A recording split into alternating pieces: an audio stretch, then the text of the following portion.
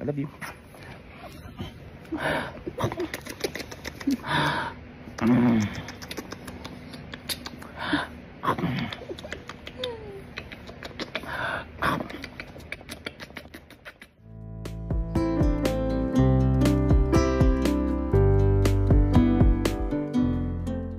Hello and welcome to Trending Pinoy Celebrity.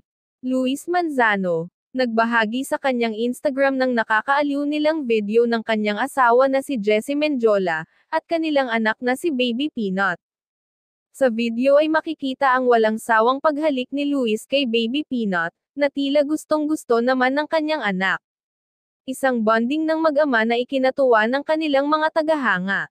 Sa huli din ng video ay sumali si Jessie sa kanyang mag-ama, at si Luis naman ang kanyang hinahalik-halikan.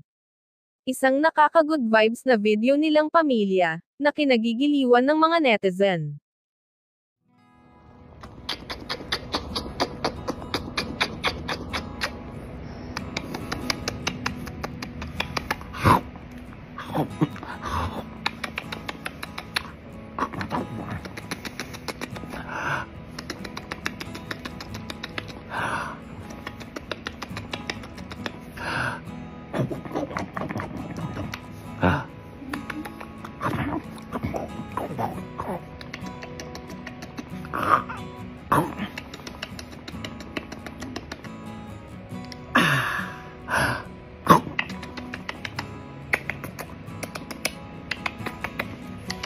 I love you.